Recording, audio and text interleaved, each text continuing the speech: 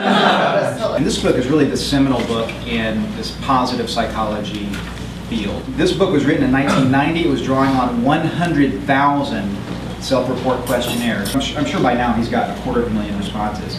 All the stuff we've been talking about here in Appetite for Success begs the question what is success?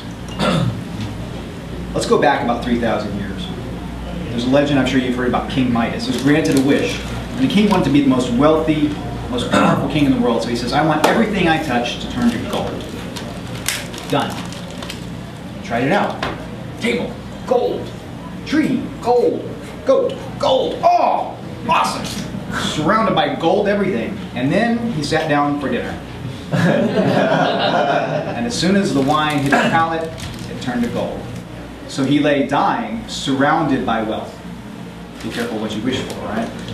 You may get it. That in modern society, we've made all of these strides in material wealth. So the point he's making is quality of life is not wrapped up in money or in the symbols of happiness. It's wrapped up in your quality of experience. Quality of life has to do with quality of experience. There's also like a service aspect to what you're doing, like you're serving. You know what I mean? Well, that, well, that's the part where you were saying, you know, I'm not Altruism part, necessarily, yeah. I'm not volunteering. When he talks about flow, what he's really talking about is happiness. What is the definition of happiness? What do we mean by happiness? And so when we say success, what we're talking about, what I'm talking about, is what is happiness. So Csikszentmihalyi's definition of flow, it's like an athlete who's in the zone. We've heard that description, right? You're in the zone, everything, the ball looks huge, looks like a grapefruit, and you couldn't miss it.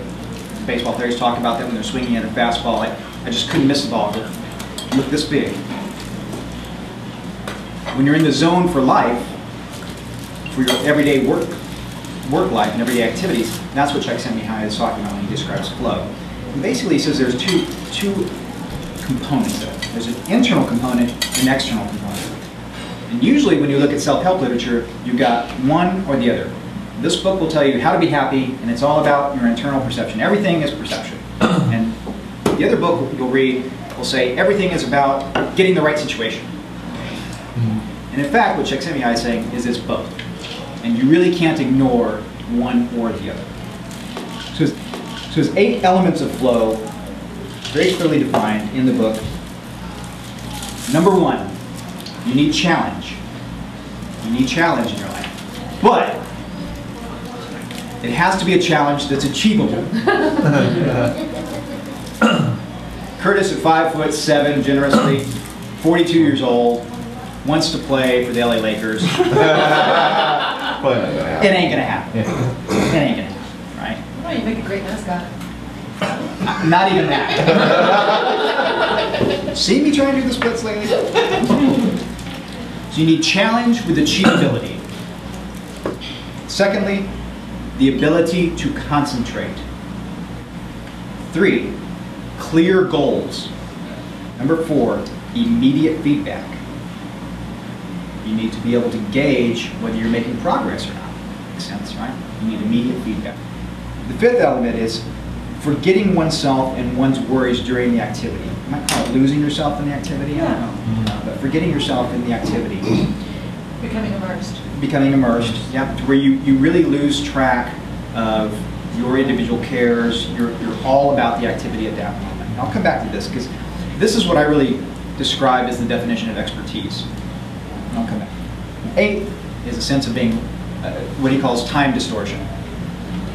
Time just flies by. Right? Barton was describing a process of uh, uprooting his deck and laying, laying pavement brick and just redoing his whole backyard, and his whole garden. He was showing pictures of it, and just yeah, we would, you know, we would spend the entire morning and I'd get out there at eight o'clock and, and start start building and look up and it's it's noon, kind of dangerous our age. so the self becomes more differentiated as a result of flow because overcoming a challenge invariably leads, leaves a person feeling more capable and more skilled. And he gives an example of a rock climber. The rock climber says, you look back at awe in self, at what you've done, and it just blows your mind. I can't believe I've done this. After each episode of Flow, a person becomes more unique, more of a unique individual, less predictable, and possessed of rarer and rarer skills. Complexity is often thought to have negative meaning, right? Complex, difficult, bad. But complexity also involves a second dimension, that is the integration of autonomous parts. A complex engine, for instance, not only has many separate components, each performing a different function, but also demonstrates a high, a high sensitivity because each of the components is in touch with the others. Without integration, a differentiated system would be a confusing mess. And that's a pretty fair description of a lot of people's modern day lives, actually. Three years ago, I did something called my lifestyle parameters. And I actually made a list and said, this is what I want my ideal day to look like. And these are the qualities, I extracted from that the qualities. I want to be location agnostic. I want my income to be completely independent of my location. Location agnostic. I want complete control of my schedule. What, what does flow mean for you? Okay, that's great. We've got all these, these elements and so forth. What does that mean for you? Marketers say, find out where the traffic is and jump in front of it. Right?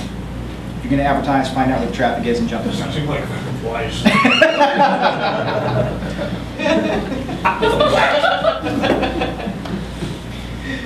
So I say, find out where the flow is and jump in front of it. And one of the things these guys did is they used a flow mood ring. The past 30 or 40 years, they had a pager. So find out what flow means to you and then jump in front of it. And that gets back to the lifestyle parameters, right? Define what the lifestyle parameters are for you to constitute flow and then make your life that. Sounds easy, not easy, but doable.